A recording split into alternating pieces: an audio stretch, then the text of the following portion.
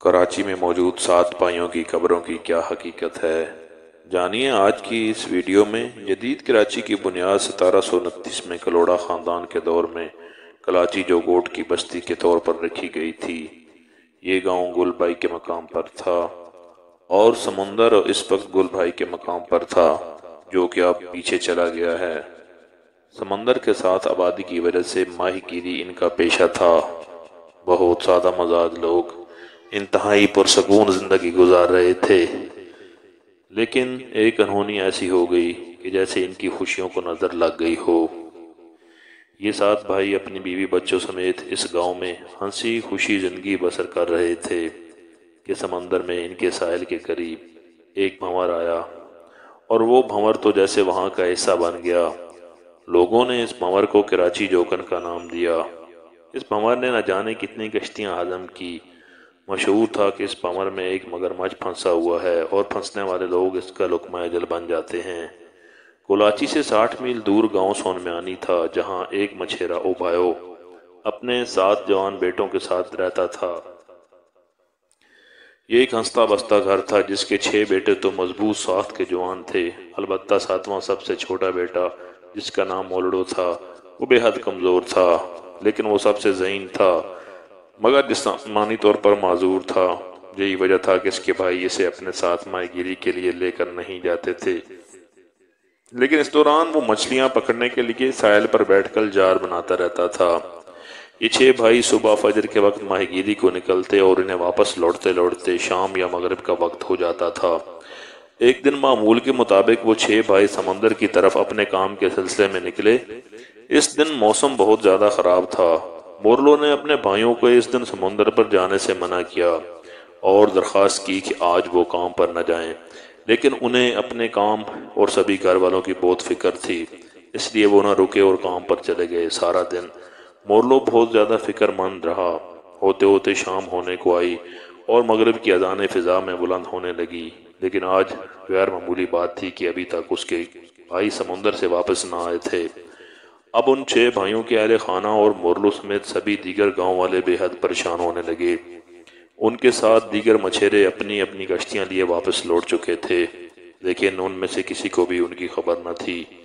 انہوں نے ساحل کا رخ کیا مورلو نے اپنی نظر کی آخری حد تک سمندر میں اپنے بھائیوں کو تلاش کیا۔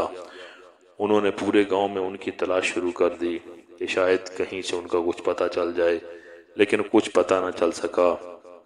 اس طرح تین دن گزر گئے۔ بلاخر کچھ ماہی سے یہ خبر ملی کہ ان کی کشتی پمر میں پھنس گئی ہے۔ پورا گاؤں افسردہ تھا اور مورلو انتہائی غم و غصے کا شکار تھا۔ اس نے کچھ گاؤں والوں کو اپنے ہمراہ لیا اور سمندر کی طرف روانہ ہو گیا۔ اس کے خاندان والوں نے اسے روکنے کی بہت کوشش کی، لیکن وہ اپنے بھائی کو بمر سے بچانے کی غرض سے اپنی کشتی پر سوار ہو کر روانہ ہو گیا۔ جو ہی وہ بھنور کے قریب پہنچے، اس میں انہوں نے ایک خون خار مگر مچھ کو اپنی طرف آتے دیکھا۔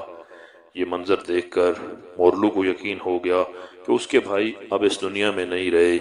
لیکن اس نے اسی وقت صفاق مگر مچھ کو مارنے کی ٹھان لی کہ اب وہ اس درندے سے باقی قوم والوں کو ضرور بچائے گا۔ ذہین تو وہ تھا ہی۔ اس نے اپنے گاؤں کے لوہار سے ایک بڑا سا پنجرا تیار کروایا، جس کے دونوں کناروں پر اس نے تیز دار کانٹوں کی چھریاں جڑوا لی اس نے اپنی جان کی پرواہ کیے بغیر خود اس پنجرے میں بیٹھ گیا۔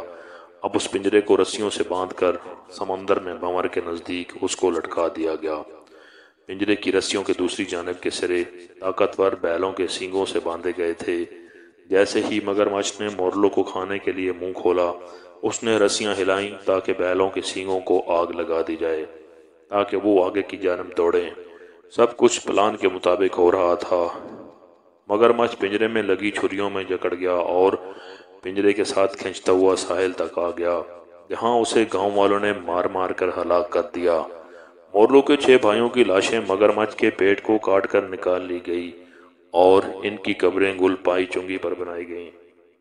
اسی طرح یہ زمین اس خاندان کا قبرستان بن گئی اور آج ان کی قبر بھی وہیں موجود ہے، جس کو آج بھی گل بائی چرنگی پر دیکھا جا سکتا ہے۔ وہاں کے لوگ اس خاندان کے لیے بہت عقیدت رکھتے تھے، کیونکہ وہ ان کا نجات دہندہ تھا۔ یہ جگہ آج بھی سات بھائیوں کی قبروں کے نام سے جانی جاتی ہے۔ در حقیقت، ان سات بھائیوں کی کہانی کے اور بھی کئی پہلو ہیں۔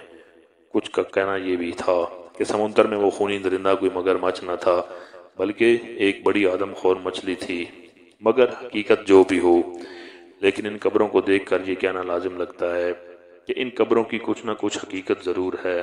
تاریخ کے سینے میں ایسے کئی بہادروں کی جرت اور بہادری کے قصے دفن ہیں۔